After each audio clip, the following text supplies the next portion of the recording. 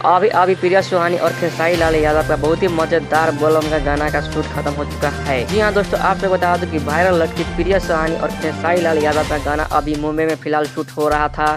और खबर ये आ रही है कि बोलबम का गाना अभी शूट खत्म हो चुका है। जी हाँ दोस्तों, कब तक ये गाना रिलीज़ होगा? जानेंगे पूरे विस्तार से। उससे पहले इस वीडियो को एक लाइक करके चैनल को सब्सक्राइब कर लीजिए। तो आप सबको बता दें इस गाने का शूटिंग फ़िलहाल खत्म हो चुका है और कहा जा रहा है की सोमवार के दिन ये गाना रिलीज़ होगा। आप सबको बता दो की प्रिया सुहानी और खेसारी लाल यादव के साथ ये गाना जब खत्म हुआ तो प्रिया सुहानी के ऊपर बहुत ही बड़े बड़े कलाकार प्रिया सुहानी के साथ गाना और फ़िल्म निकालने का वादा किया। जैसा कि प्रिया सुहानी अभी इंस्टाग्राम और पूरी सोशल मीडिया पर वायरल हो चली रहा है। कहा जा रहा है खेसारी लाल यादव के साथ बहुत ही मज़ेदार गाना अभी आने वाला है।